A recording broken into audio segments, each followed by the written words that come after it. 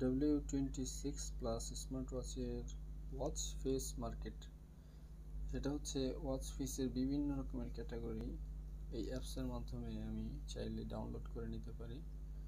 অথবা আমার গ্যালারি থেকে আমি সেট করে নিতে পারি। এখানে কাস্টমাইজ করে চাইলে আমার নিজের ছবিও দিতে পারি।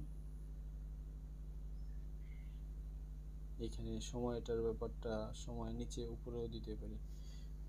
সো এই এই অ্যাপসের মধ্যে ইন্টারেস্টিং বিষয় হচ্ছে ওয়াচ ফেসের বিভিন্ন রকমের ভান্ডার এখানে আছে এবং তিন ক্যাটাগরির মোটামুটি ওয়াচ ফেস আছে। একটা হচ্ছে আমি ক্যামেরা সেটিং থেকে যে কোনো ছবি তুলে দিতে পারব, দ্বিতীয় হচ্ছে আমার গ্যালারি থেকে দিতে পারব। আইকনিক হিসেবে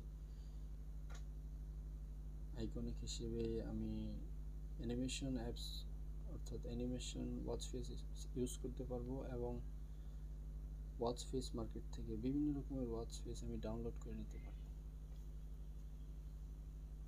সো অনেকের কোয়ারি থাকে এটা কীভাবে সেট আপ করব, তো তাদের জন্য এই ভিডিও তবে মূল শর্ত হচ্ছে আগে আমার ডিভাইসের সাথে